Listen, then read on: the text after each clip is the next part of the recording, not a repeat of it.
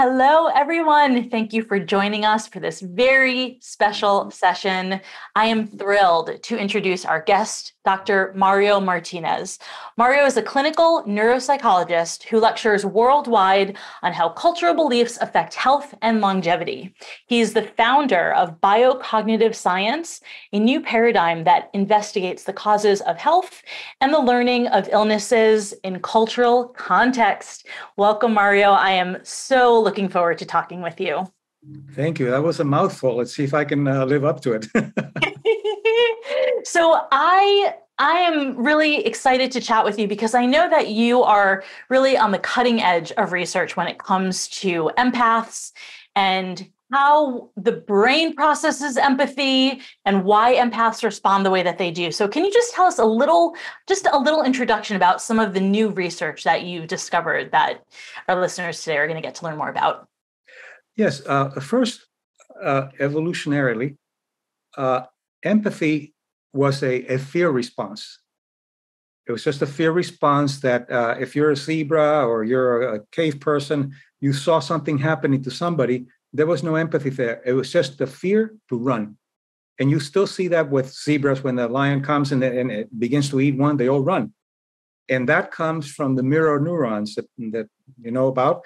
And the mirror neurons are in the uh, pre uh, motor uh, cortex, and, and it tells you whether you need to move or not. So, empathy evolutionarily was just a way of protecting yourself by seeing the pain of others and running from the danger. And then of course it evolved. So, but that's the beginning of it. So is empathy actually um, would you put that in the category of sort of the fight flight fear or, or freeze and fawn states? Or is it sort of an offshoot of those the fight or flight uh, well it, it's a bit like it but when you look at the word empathy for example it's good to look at the etymology because these are wise people who came up with words to reflect what we were feeling so the word didn't exist before 1990, uh, 1909. Uh, Titchener was the one who introduced the word, and he, he brought it from the German en, which means in, pathos, uh, feeling. So in feeling. Before there was empathy, the word was sympathy, which was different, which means sim, uh, uh, sympathy is with feeling. So you'll see how words can affect the brain as, as we move along with this. But it, it's a fairly new word. And, uh, and, and as you know, it's a very small group of people that are real empaths, about three or four percent. The rest are people that have uh, sensitivities, but they get misdiagnosed, But as I will explain. And um, but the the main idea is to understand that empathy by itself is actually damaging to the individual, and this is why people have so many problems when they're empathic. Yeah. Well, and even as you're explaining what the word really means, to be in the feeling I'm thinking about as an empath how I tend to pick up on the unwanted emotions that others are feeling or the you know what we might call negative emotions although there's some judgment when we use that language that as an empath we tend to um, pick up on those you know sad doldrum you know lonesome emotions that others are feeling. And as an empath to be in those feelings that aren't even ours that are actually somebody else's it can really be damaging. It is because uh, the brain has a part that uh, the, the buddhists say that there's no self there is a self it's not a an entity an entity but it's a process why do we know we have a self well the insula and the prefrontal lobe part of the brain the midbrain when you have damage there you don't know who you are so there's a self, but it's a processing self. Not you can't go to the brain and say this is self, but there's a processing self that tells you, yesterday I was Mario and I continue to be Mario. Otherwise, you would be an amoeba. So that's it's very important. But what happens is that evolutionarily, as I said, initially it was a fear response for the danger of others to run. And sometimes what happens with empaths, because they have very um, active mirror uh, neurons, they pick up on the information and they don't distinguish between self and other at the brain level. So then the brain is saying, let's go to the amygdala. That's the part that, that has to do with, with creating the, uh, the hormones. And then the amygdala sends information to hypothalamus and, and you get all the stress hormones. It can't differentiate between this is me and this is them. So what I'll be talking about is how to differentiate to teach the brain that you can feel something for somebody, but it's not you. And that's the problem. So we have to go to the next step to, to make it from a signal of danger to a signal of understanding of others, but not being sick with the others.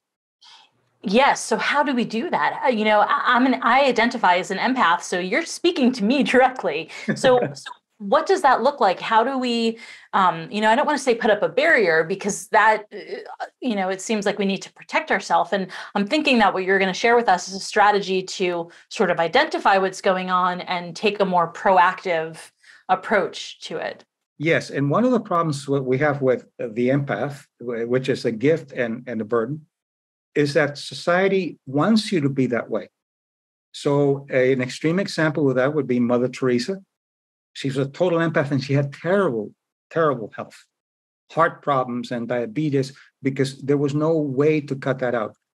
So, for example, the main thing is to understand that at the intellectual level, but it doesn't work at the intellectual level, as you know.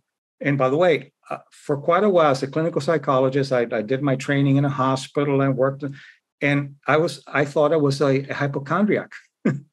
So I realized that I'm not a hypochondriac. I'm someone who has the, the, the empathic. So I had to learn to deal with it because otherwise, imagine what happens every day. You see six, seven patients with all kinds of problems, and you pick it up and you take it home with you. And it's not energy.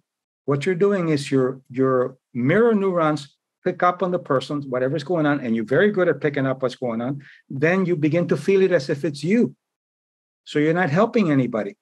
But when you learn that the self and the brain is the one that differentiates the two, then you the question would be, okay, so how do you access that? How do you access that self so that it can say, this is happening to you, and I feel sorry for you, but that's not me. And that's where compassion comes in. Compassion is diff- very different. Compassion is a word that says, rather than I am with your feelings, I am for your feelings, but it's still me. It's still me. So one of the techniques, which I'll ex- explain later, very simply, let's say you see somebody who's hurting, and immediately you're you know that your mirror neurons are going to go there, and you're going to start feeling it. So rather than intellectually saying that's not me, it's not going to work. The, the brain needs to embody things. You can go and and and say thank you for reminding me to take care of myself and then you embody that. You just don't say thank you, you, embody, see how it feels.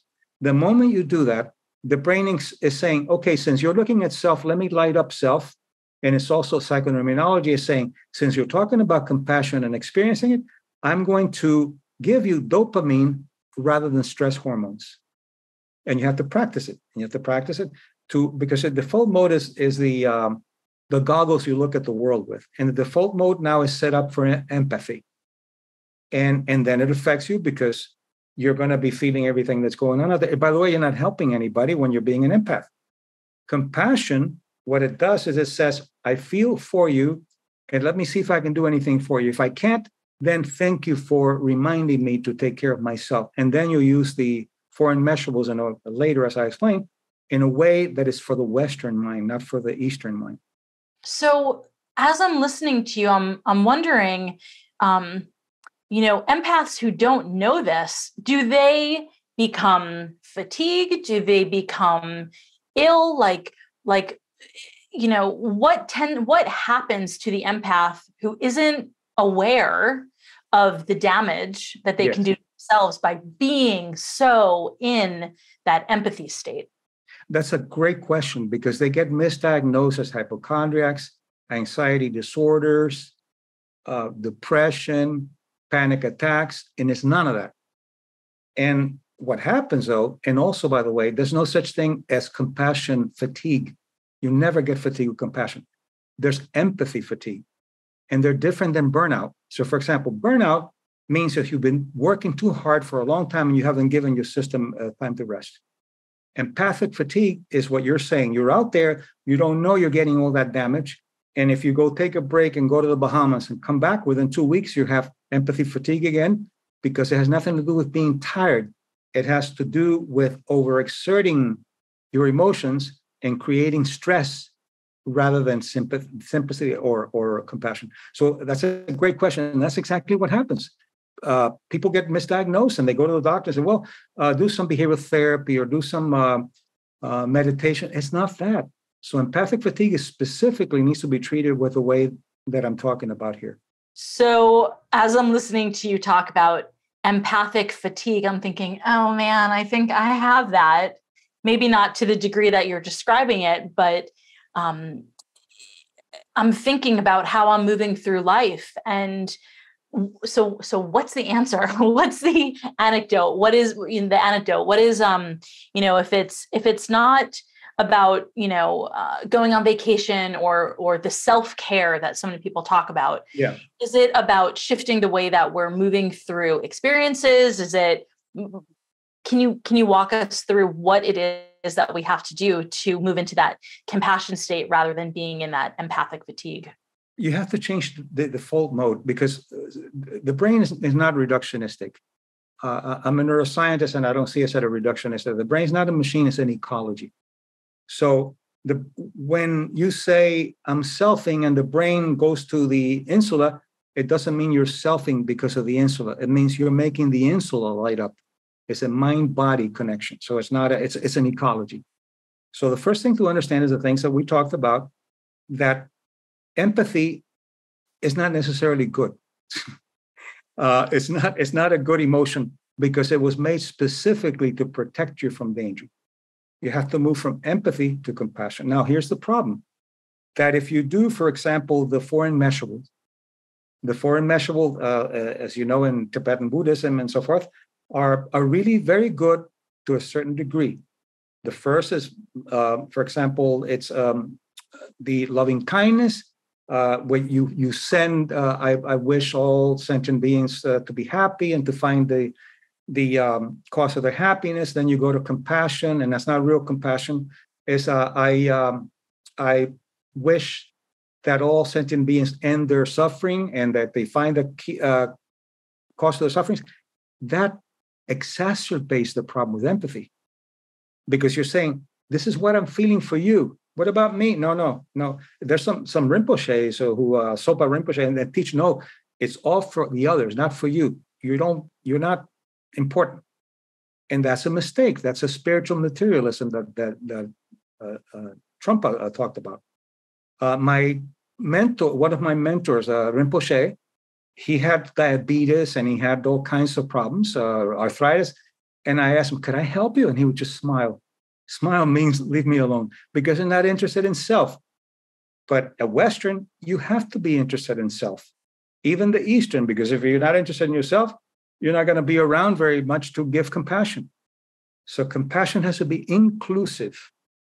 So you ha- well, back to your question, what do you do when you're feeling all these things? And by the way, the the the, diff- the reason that you get so exhausted is because you have a- adrenaline drain. The adrenaline is putting out all kind of norepinephrine, epinephrine, uh, cortisol, and after a while, you you're you're drained, even though you haven't done anything. You just saw four or five people in a day. So then one way, and this is what I do in my work, I do a lot of uh, brain retraining. One way to do it is I pick that up as a signal to use the immeasurables for me. So, for example, let's say I see you, and by the way, the area of the brain that activates when you're empathic is the area of the brain that causes crying. very, very related.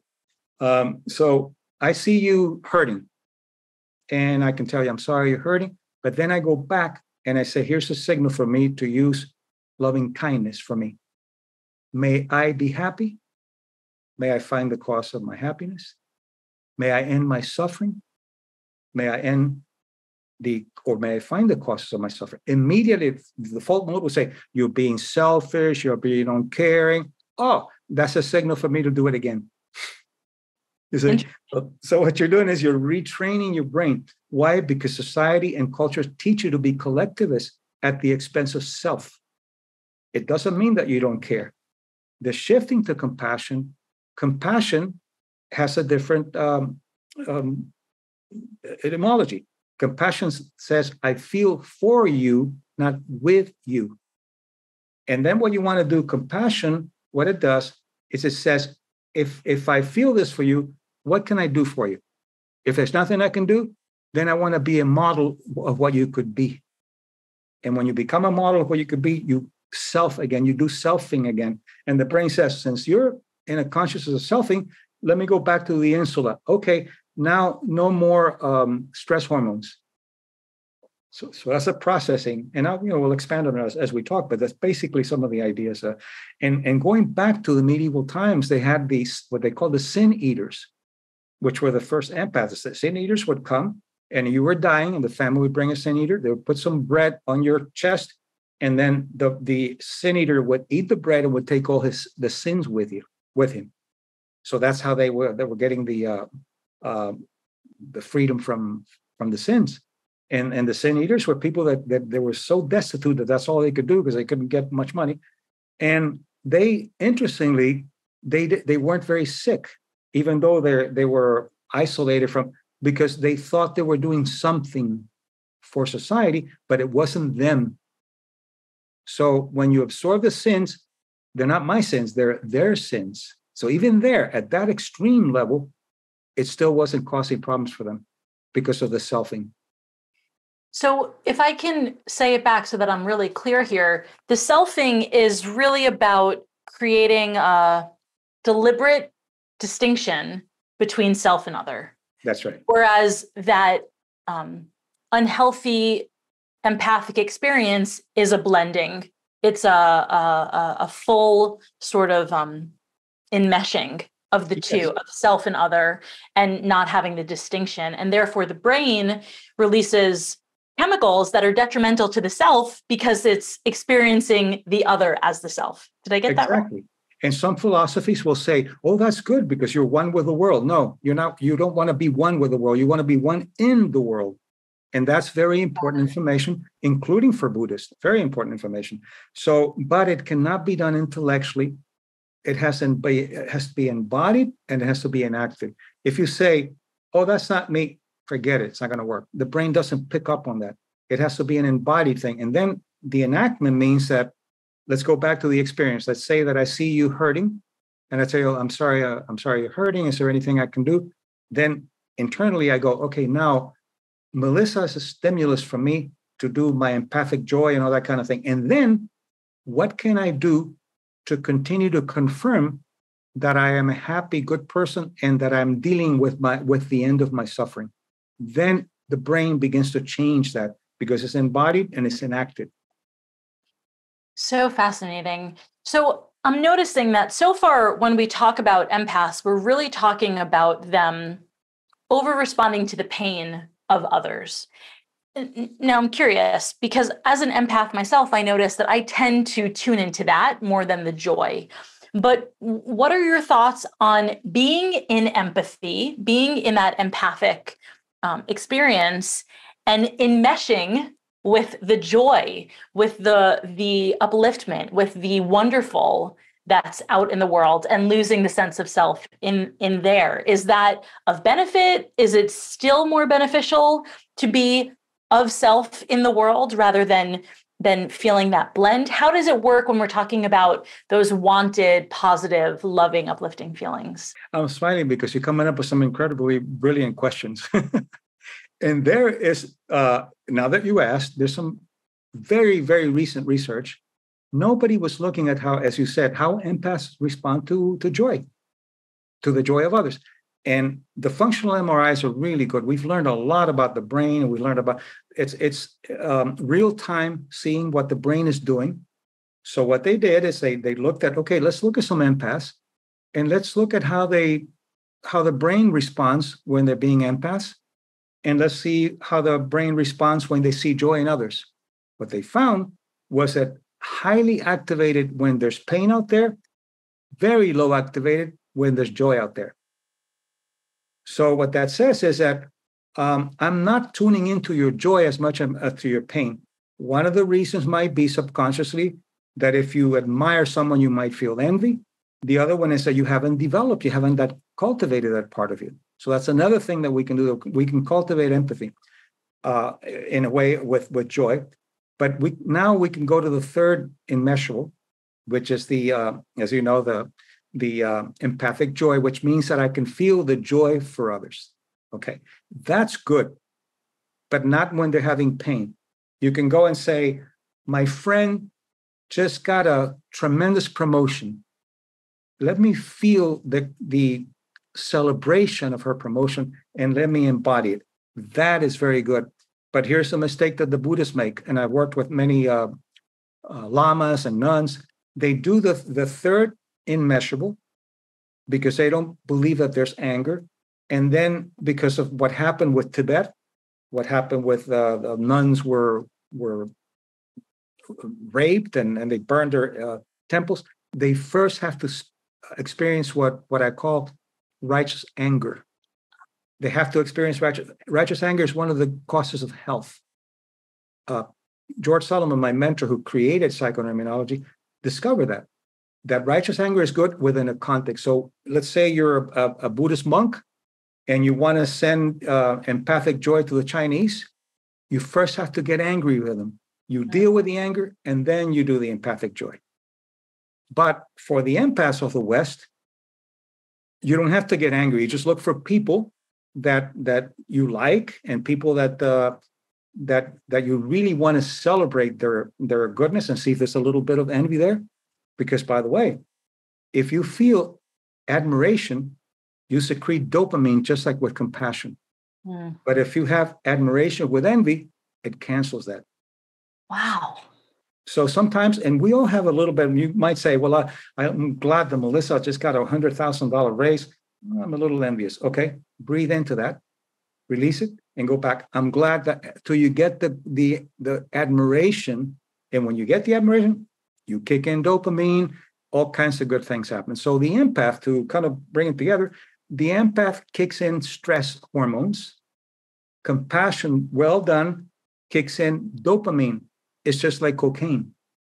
It's the centers of and and when when you're, for example, with uh, addicts, dopamine kicks in, and you get very excited about the anticipation of the drug, and you don't get as much with the drug than with the anticipation because dopamine stops when the drug comes in. So, could we, in effect, get high on compassion? Yeah, wow. that's why you don't have fatigue. Ah. But real compassion, not not um, caretaker because uh, that's not compassion. Real compassion means I'm really excited about my joy and I'm really excited about your joy. And you just, I mean, you're you're immunologically, you're creating all kinds of powerful protections. I don't know if you can even answer this, but if we now have come to this understanding that empathy is not a beneficial emotion, um, why why do empaths exist? What is what is the upside of being an empath?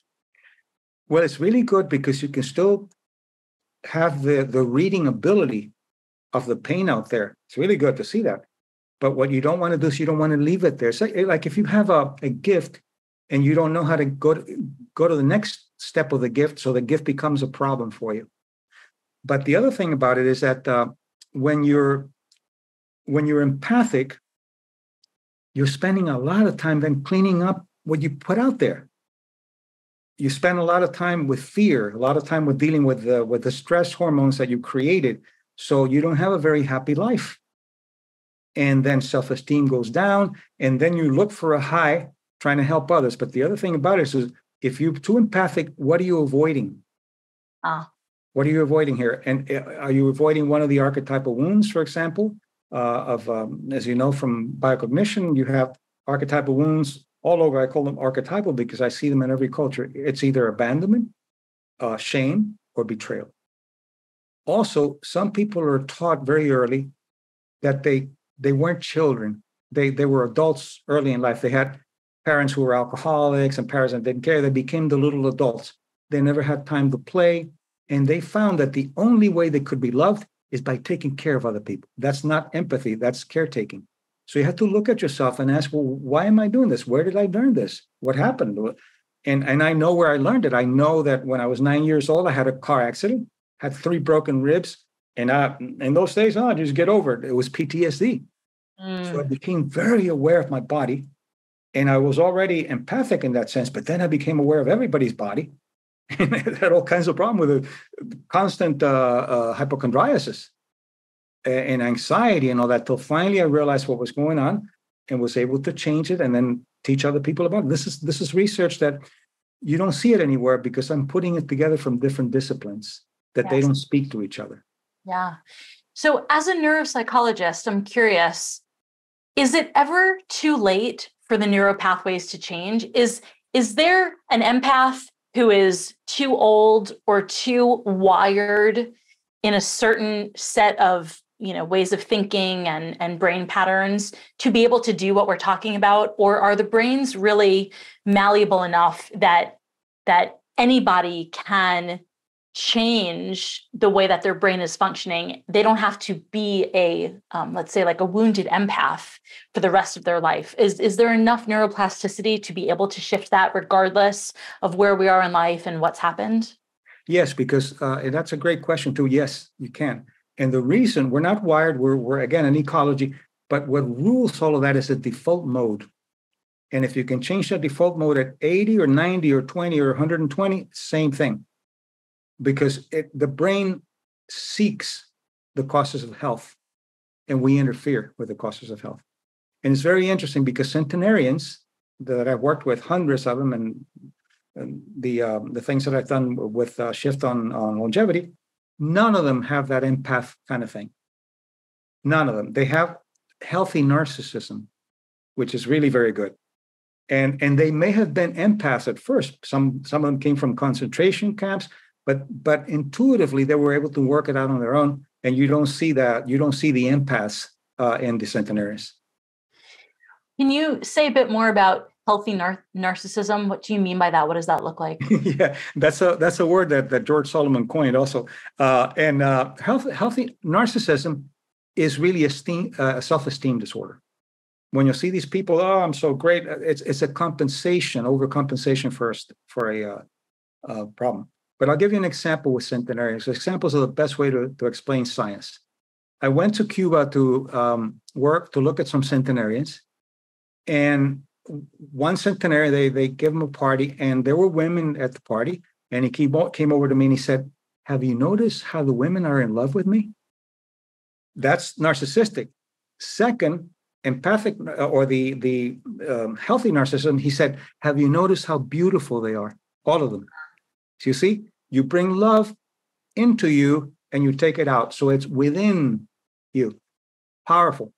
But they see that. And when they say, for example, I meet you and I've known you in two weeks, Melissa is one of the most beautiful person I've ever met. I, I think she's in love with me. And that doesn't make me sexual. She's in love with me and, and she's wonderful. That kind of inclusive process is what's really good for the immune system when you have that, and they all have the the that uh, that sense of uh, healthy narcissism.